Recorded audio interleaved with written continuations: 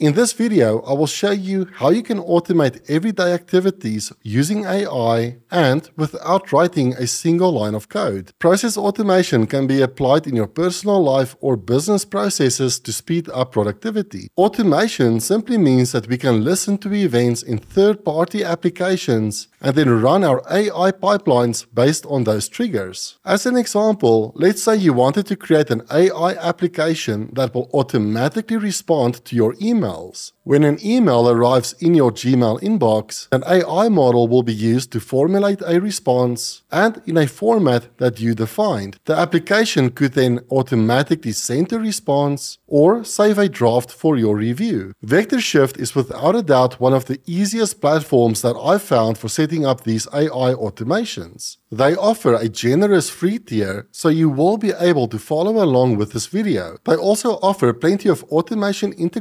integrations, and this list is constantly being added to. VectorShift strikes a good balance between AI builders like Flowise and Langflow, and business automation platforms like Make and Zapier. We already had a look at creating a RAG chatbot in a previous video, which I recommend to check out as well. So in this video, we will focus on the process automation features of VectorShift. Let's have a look at what we'll be building in this video. Here, I have a simple Typeform that collects three values from the user, their name, their email, and their inquiry. This is a simple example, but of course, this could also be a complex survey or an application form. The expectation is that after the user submits this form, our AI application will kick in and it will respond to the user's inquiry by answering the questions from a knowledge base, and at the end of the process, an email draft will automatically be created in my Gmail account. Let's check that out. So let's go back to Typeform.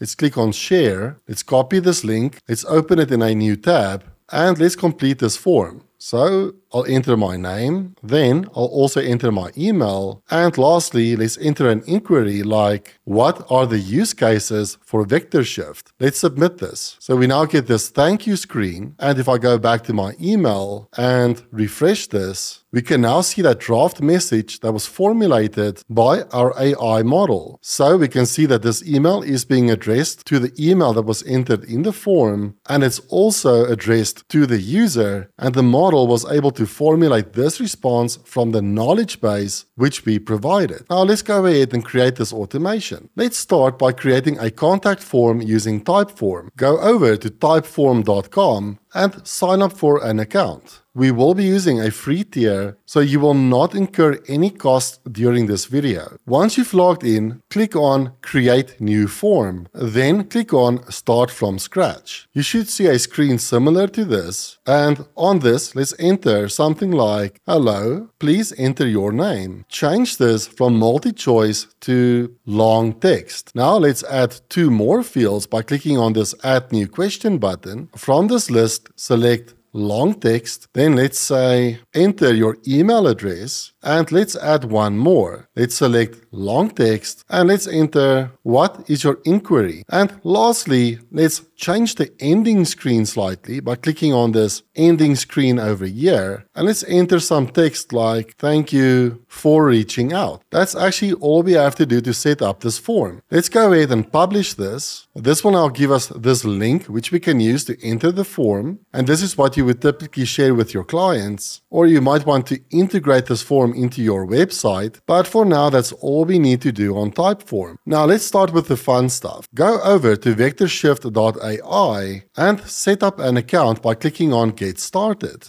After logging in, you should be presented with this pipeline screen, and if this is your first time using VectorShift, you won't see any existing pipelines. I'm not going to go through all the basics of using VectorShift, but I will go through this step by step. If you do want to learn the fundamentals of using VectorShift, then check out this other video over here where we build a RAG chatbot. So from this pipeline screen, click on New, then let's create a pipeline from scratch. So the first thing we want to do is to add inputs to this pipeline that represent the different fields in our Typeform form, which was the name, email, and the inquiry. So in the pipeline, under general, let's add input. Let's give this input a name, like name, and this is of type text. Let's add two more inputs, so let's add one for the email and let's add another one for the user's inquiry. We will have a look at connecting these three fields to the Typeform integration towards the end of this video, but for now, these placeholders will work just fine. Now let's have a look at what we want to achieve in this pipeline. So we have our three inputs, but the end result needs to be an email that we draft in Gmail. So under integrations, we can see all the different integrations offered by VectorShift. And in this example, we are interested in this Gmail node, which we can add to the canvas in the meantime. On this Gmail node, we can change the action and under actions we actually have a couple of options. We can send an email, draft a reply, or create an email draft. And we will select create email draft for this example as we don't want the email to be sent immediately. Then you will see a button that will prompt you to connect your Gmail account. And because I've already done this, it's defaulted to my Gmail account. But when you click on this button, you will have the option of connecting a new Gmail account. So go ahead and click on this and authenticate your Gmail account. Afterwards, you will be able to select your Gmail account and it will show up on this node. This node also takes in the subject of the email, the list of recipients,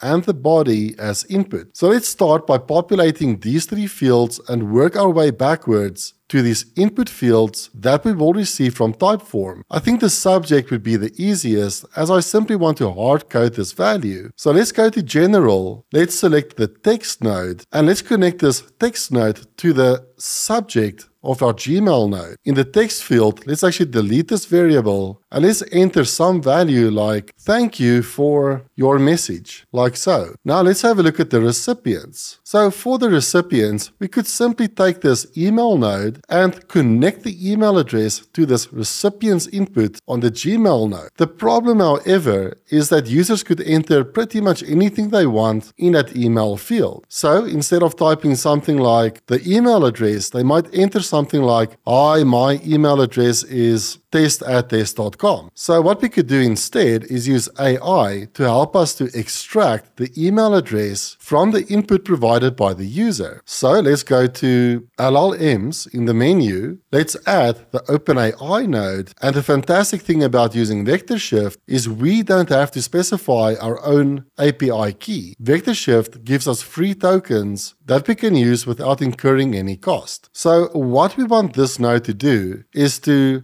get the input from this email node so we can simply connect email to the prompt and we can now tell this model to extract the email address from the text provided by the user. So I'm simply going to paste this in to save some time. So feel free to pause the video and simply copy this text. This is simply saying that your job is to extract the email from a prompt. For example, if you receive some value like this in an object, you respond with this email address do not respond with anything but the email. So we can attach the response of this model to the recipient nodes on the Gmail node. This is a fantastic use of using AI in your typical workflows. So I'm actually just going to move the nodes around to make this a little bit more readable. Now let's deal with the body of this Gmail node. Obviously our body is a little bit more complex. What we want to do is when the user submits the form, we want to grab the text from from this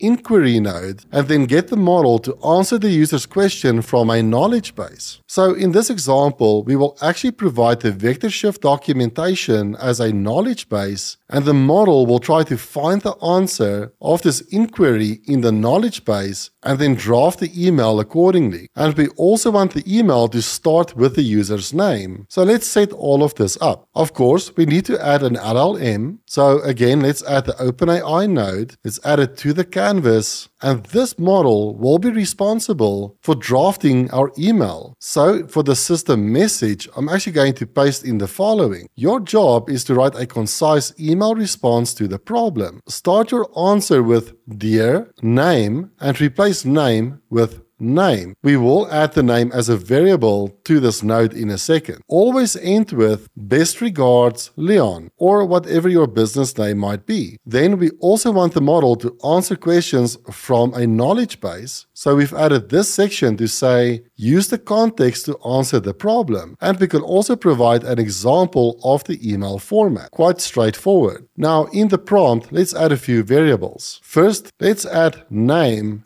colon and just below this we'll add a new variable and we'll call it name. Then below this, let's also add a placeholder for the user's inquiry and let's also add a variable which we will call problem. And lastly, let's also add context and this context session will contain the results from the knowledge base. So let's add another variable and let's call this context. Excellent. We now have a model that will draft an email based on the input provided from these three variables. Let's go and connect the name from the name node and let's add it to this name input on the model. Then for the problem, we will simply take the inquiry node and connect that to the problem. Now let's have a look at context. What we want to do is we want to add a knowledge base to this flow which will scrape information from the VectorShift documentation. When the user submits the form, this inquiry will first go to the knowledge base and the most relevant sections in that knowledge base will be returned as context. So let's go to the knowledge base and let's add this knowledge node. Then go ahead and click on create new knowledge base, give it a name. I'll just call this VectorShift docs and let's click on confirm. Then click on edit knowledge base and initially we don't have anything in our knowledge base but we can click on add documents and from here we can add files, URLs, YouTube links, links to arXiv articles, etc. But what we want to do is scrape information from this VectorShift documentation. So let's copy this URL